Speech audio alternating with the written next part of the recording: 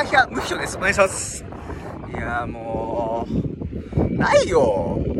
3テイク目なんだが。ないんだが。話。ちょっとギャルになるんだが。で、こんな走ってんねん、みんな。休みに。俺しか走るな。雨が止んだ瞬間、俺しか走るな、バカ。バカとか言っちゃいけないね。どうも、デブです。おい、おい、みんながコンプライアンスダメだとしても、俺だけ、あれだからな。デブって言っていいからな。特権。デブの特権。